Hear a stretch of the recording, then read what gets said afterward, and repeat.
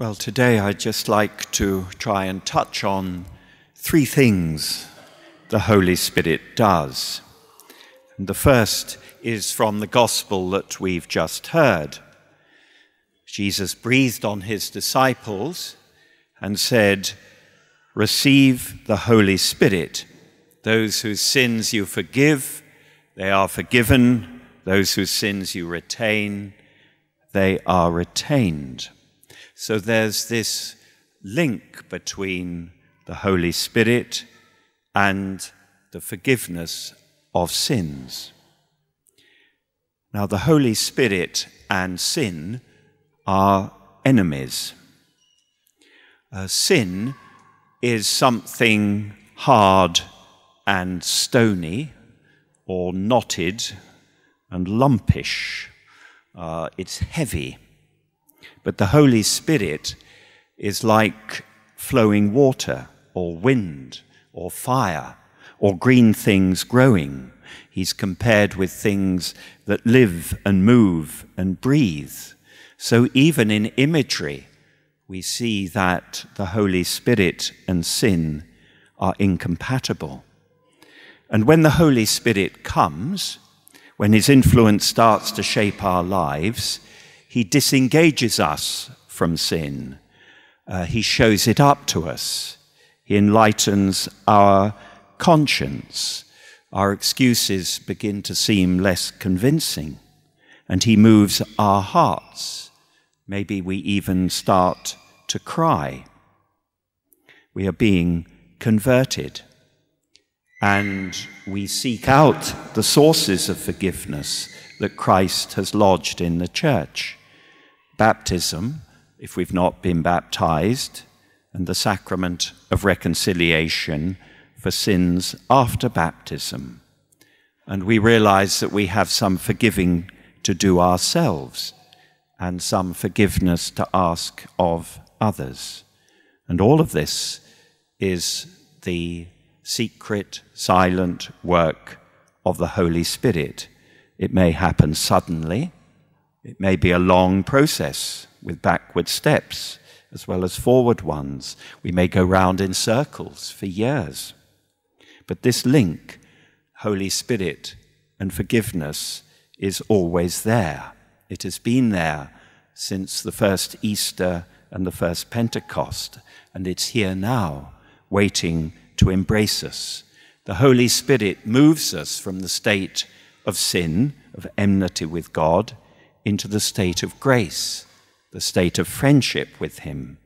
And the things St. Paul mentions in that second reading fornication, gross indecency, sexual irresponsibility, idolatry and sorcery, feuds and wrangling, jealousy, bad temper, quarrels, disagreements, factions, envy, drunkenness, orgies, and similar things, the whole soap opera of fallen human life. These things can now belong to the past.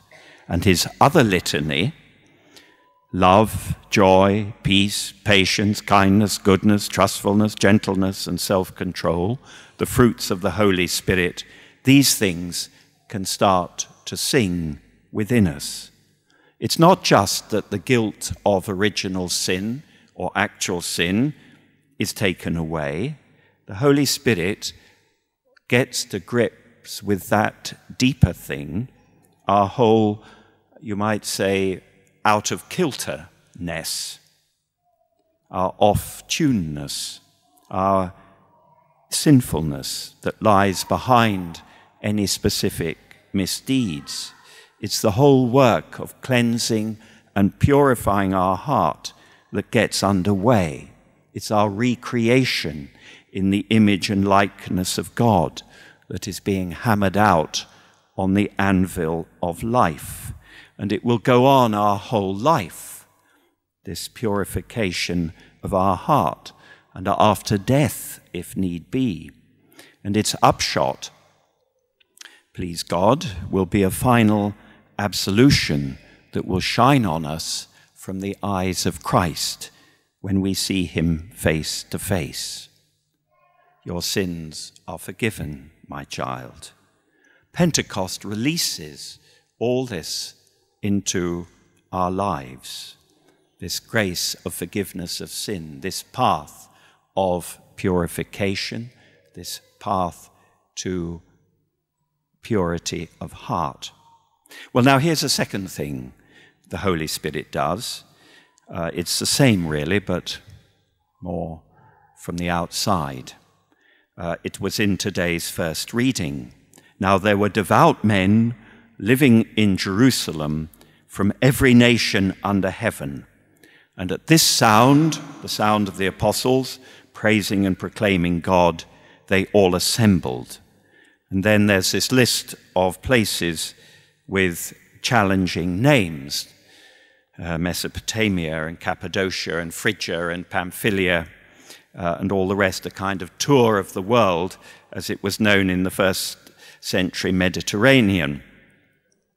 Uh, yesterday, uh, we had the same reading here, and a 12 year old boy uh, read it flawlessly. I mean, I need hardly say it was read flawlessly this morning, and that it can be quite a challenge. But the point is, they all assembled, they gathered, they came together. That's what the word means. And after Peter has spoken, after that, Peter goes on and gives a homily, and he's 3,000 of them were baptized. This is the beginning of the church, the birthday of the church, as we often say. And here uh, we can begin to glimpse the, the, the beauty of what it is that God does in the world for our poor humanity. He, he, he, the Father, he sends his Son into our fallen world to lift him up. And he lifts up his Son on the cross and in the resurrection. He concentrates salvation and our, our recreation in the person of Jesus. But the person of Jesus lived and died and taught and rose in one small area of the world at one brief time. So the question is how can we, people from other places, other times, how can we access, how can we connect to this salvation? Well, if you'll pardon the image, it's as if the Holy Spirit is a great, uh, benign uh, lasso, uh, as it were, that's twirling through the world, uh, twirling through history, and catches us and draws us uh, into to Christ and to the cross, to the Savior. Or to be more biblical, he's the net thrown into the sea, and we are the fish that are caught. He gathers believers from every nation under heaven, generation after generation. And this is the church, the universal church, one and Catholic. This is what the word church means gathering or assembly. The church is truly the original worldwide web. And all this is the doing of the Holy Spirit.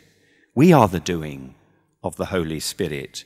And we have to look beyond personalities and squabbles and scandals and all of that, and all the criticisms that are thrown at us, and recognize the wonder. I mean, uh, the creation, the universe, the world, the planet is actually a wonder. It is a standing miracle. It is our sad, downcast, averted eyes that miss the many splendored thing. And the church, too, is a standing wonder. It is astonishing that it is, that it has been for 2,000 years, that it is now, and that it will continue to live and to grow. Because here we are in a fragmented world with so many attachments fracturing and so many mutual animosity.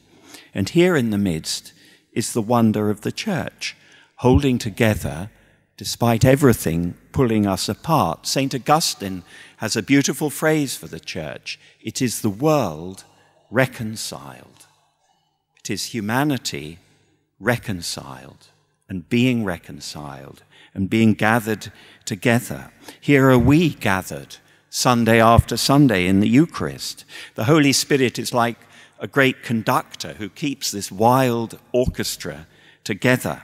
He's the great connector. So he's always creating the mystery of communion between a parish and its priest, between the priests and the parishes and the bishop and the diocese, between brothers in a monastery, between the pope and the faithful, between the new and the old. Here he is in, in Ab- Aberdeen, even, gathering people from every nation under heaven to come to our various churches, gathering Scots and Brits and Africans and Indians and Poles and Latin Americans and all the people I'm leaving out. It, it, it's, it's happening somehow, despite everything, it hangs together. Uh, he's for individuals. The Holy Spirit is forging bonds of Christian friendships in families. He's bringing husbands and wives back together when they start to drift apart, or parents and children, gathering the domestic church. There's this wonderful work of God going on before our eyes. May our eyes open to see it. It's a divine gift. It's a share in the unity of the Father, the Son, and the Holy Spirit. And it's released at Pentecost. It's a movement, uh, a process, it's a flowing stream and may we enter into it. And then there's one last thing. The Holy Spirit, it says, first reading again, gave them the gift of speech. That is to say, the first disciples, the apostles especially. The apostles found their voice. They began to proclaim the marvels of God. They had been disciples. They had been listeners, and now they became speakers. And this, I think, is another thing the Holy Spirit does. I think for Christianity in the world, for the church as a whole, He enables the Christianity to find its voice, to speak of the marvels of God in different cultures, different times, different generations and so forth to do that. Now, it's a voice, as we know, that won't always win a referendum. No. Uh, it's a voice that will often be countercultural or overcome by other voices. It is a voice that will need to find better ways of saying what it want, has to say, what the Lord has given it to say. That's why, in a way, the Holy Father has called his synod on marriage and the family, so that the church can, can find her voice in these matters of, of man and woman and marriage and family and sexuality and so forth. But we can take this for ourselves as well. I remember a monk who was, he was confirmed, I don't know, when he was about 20 or something, and he said, Well, I've never stopped talking since. Uh, he received the gift of the Holy Spirit, and the Holy Spirit gave him the gift of speech. Uh, well, there we are. Um, but yesterday, in, in the little country of El Salvador, in, in, in the city of San Salvador, there was beatified uh, Oscar Romero, who was the Archbishop of San Salvador in the 1970s and the 1980s, uh, well, up to 1980. And it was a very fraught time in that country where uh, those in power were committing very grave injustices. There was a great deal of assassination and torture and uh, unlawful arrests and so forth, and murders and everything going on. And Romero found his voice slowly, gradually, and he spoke out against this and condemned these injustices on the basis of the gospel, on the basis of the Ten Commandments, indeed. He spoke out, and therefore he was assassinated.